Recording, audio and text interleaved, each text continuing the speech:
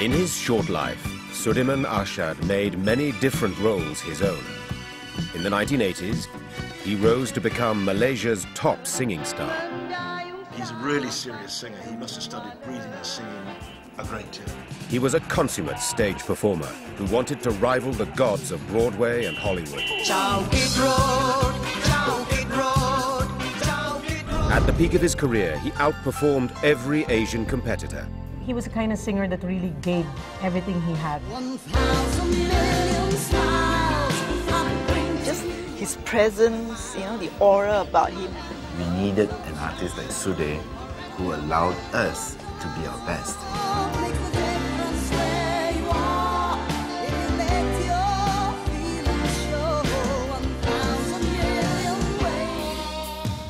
Just three years later, it would all be over.